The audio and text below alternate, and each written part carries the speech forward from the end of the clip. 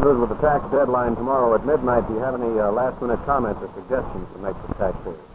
Well, I just, uh, one, I guess, it's a little late perhaps for some of the folks, but uh, I, I just say, for goodness sake, if you haven't gotten that return in, uh, get right on it and get it in today or certainly by closing time tomorrow because uh, our people are pretty well bushed from a, a pretty rugged uh, and long, drawn-out filing period, and uh, we'd appreciate everybody's cooperation on it. Well, with the extra month that uh, the taxpayers have now to get their returns in, do you feel there'll be any more or less delinquents, as it were? Well, I, I think the whole idea of extending the thing for 30 days has been a, a good thing for the taxpayers and a good thing for us. Of course, we won't know yet exactly how good it is until we get the April 15th figures, but we do know this, and it's rather interesting, that uh, up to March 25th, we had, had received 35 million returns.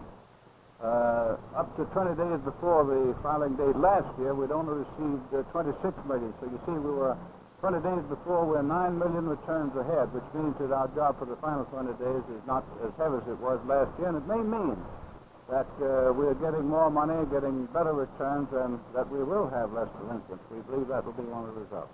Well, now, what do you, what do you, uh, what's your reaction to the recent uh, Senate defeat of the $20 per person tax cut? Well, uh, I was delighted, uh, not because I'd have all the reduction in taxes they could get, but uh, rather because that $20 cut would have played havoc with us administratively. As a matter of fact, I'm not sure that we would have been able to handle it. Moreover, it would have confused things considerably for the individuals. For instance, uh, the, the uh, rate chart alone would have had to have been uh, probably three times as wide as it was, therefore including three times as many columns, and I'm sure it would have been very difficult for the average person to have understood it.